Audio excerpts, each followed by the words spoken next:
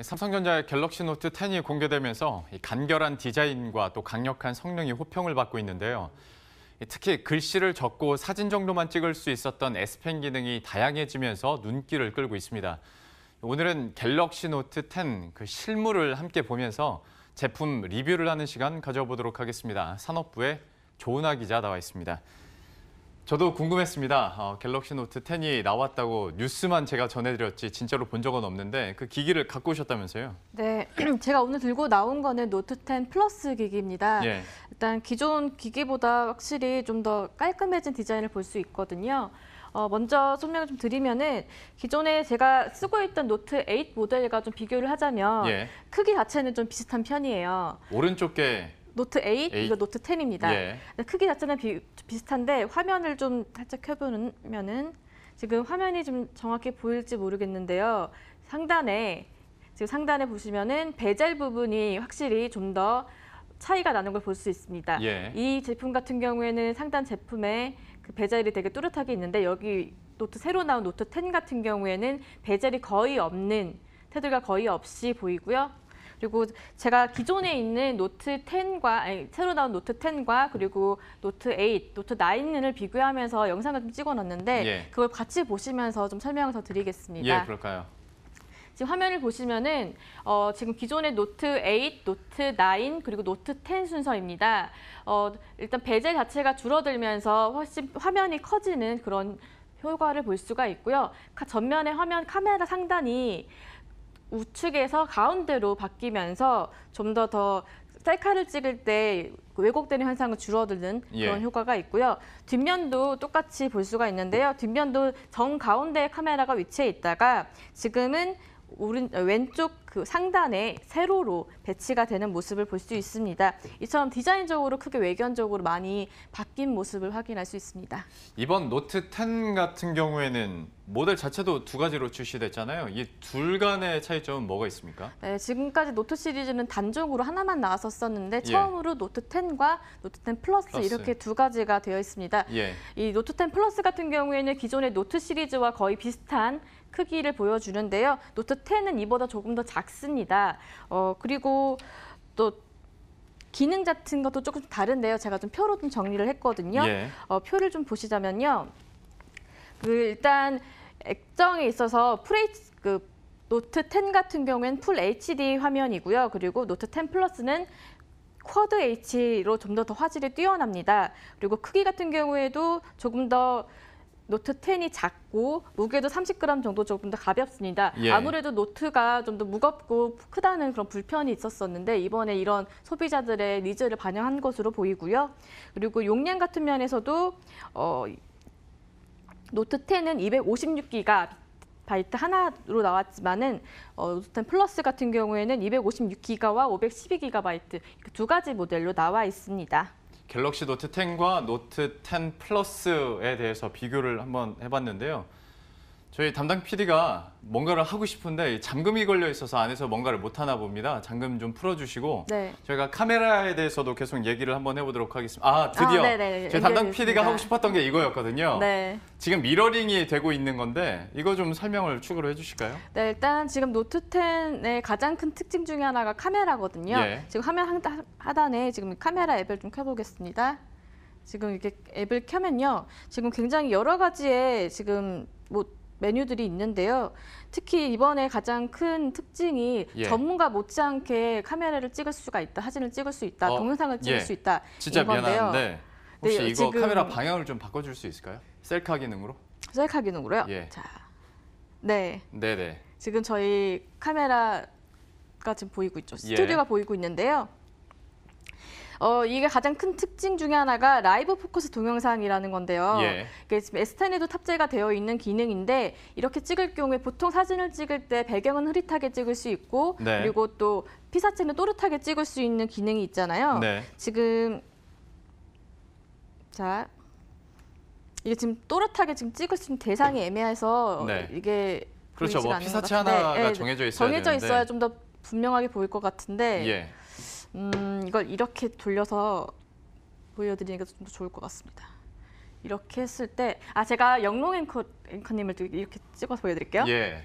지금 방금 예, 셀카 아, 네, 버전이어서. 제가- 제가- 예. 자 이렇게 하겠습니다. 이걸 좀 동영상을 찍었을 때 지금 화면이 좀더 그러네요. 여기는 좀? 아웃포커싱이 돼 있네요. 네. 예. 이런 식으로 이게 보통 사진을 찍을 때만 적용이 되었다면 이제는 동영상을 찍을 때도 음. 이런 기능들이 적용이 된다.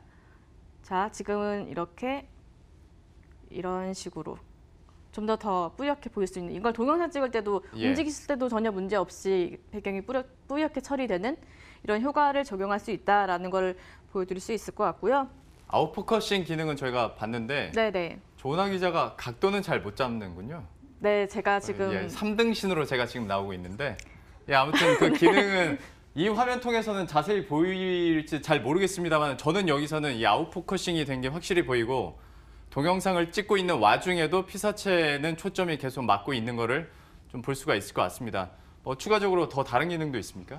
어, 또 다른 기능으로 지금 설명을 드릴 수 있는 것 중에 하나가 그 어제 제가 리포트에 전엔 전달해 드렸던 것 중에 하나가 그 3D 캐릭터를 만들어서 하는 것들인데요. 예. 그거 같은 경우에는 사실 아직 이 핸드폰 같은 경우에는 출시 전 제품이기 때문에 최적화가 되어 있지 않아서 보여드릴 수가 없어서 영상으로 지금 준비를 했거든요. 예. 그 영상을 좀 보시겠습니다. 그 먼저 보시면은 그 뎁스 비전 카메라라는 건데요. 어 이거는 지금 이제 최근 이 S 이거는 10이 지금 나오면서 펜 관련 펜 영상인 관련 것 영상인 같고요. 것 같고요. 예. 어, 네, 일단 설명을 좀 다, 다시 하자면요. 예. depth vision 카메라가 이 뒤 화면에 있는 이 세로로 되어 있는 것 중에 상단 부분에 있는 이 여긴 플래시고 그 아래에 예. 있는 게 depth vision 카메라라는 거거든요. 예. 이걸 통해서 어, 우리가 전 S10 모델에서는 그 키를 잰다거나 사물의 크기를 잰다거나 하는 아. 간편 측정 기능이 있었거든요. 예. 근데 그것만 할 수 있는 게 아니라 이제는 사람을 스캔을 한 다음에 네. 그걸 캐릭터화를 만들고 그리고 그 캐릭터를 통해서 좀 더 더 다양한 재미있는 영상들을 찍어낼 수 있는 심지어 그 캐릭터가 사람을 갖다가 대면은 사람의 움직임에 따라서 춤을 추기도 하는 어. 네, 그런 효과도 가지고 있거든요. 그런 식으로 다양한 기능들이 있는데 여기서 또 보여드릴 수 있는 것 중에 하나가 AR 두들이라는 거는 바로 보여드릴 수 있을 것 같습니다. 예. 동영상을 찍을 때 음, 이쪽을 제가 이쪽 잡아야겠군요. 네. 동영상을 찍을 때 상단에 이걸 누르면요. 지금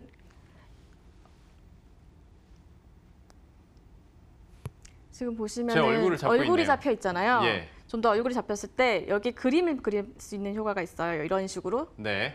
그래서 이게 뭐 이런 식으로 잡아, 잡았을 때 가까이 가져내면 점점 똑같이 동영상이잖아요. 예. 이렇게 틀어도 그대로 얼굴 따라서 모양이 바뀌는 아하. 이런 것들이 보통은 카메라 앱, 사진 앱들에 많이 적용이 되어 그렇죠. 있잖아요. 근데 수작업을 해서 수저- 네, 따로 별도로 해야 되는데 예. 이것들은 이제 바로 기본 앱에서도 가능하다.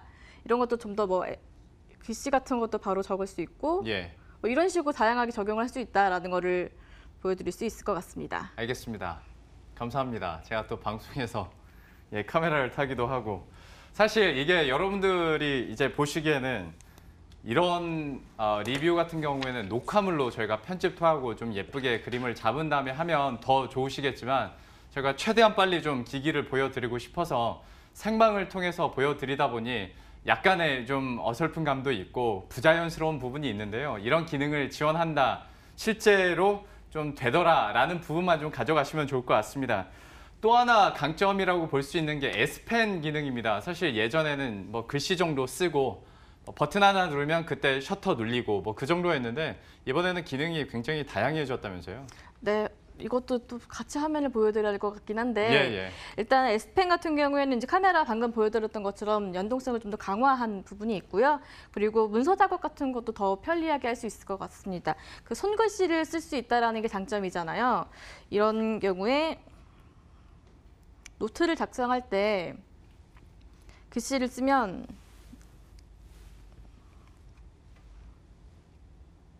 아, 노트 모양이 예. 뭐라도 말씀해 주시면서 네. 써주시죠. 노트로 이동을 했습니다. 지금 죄송해요.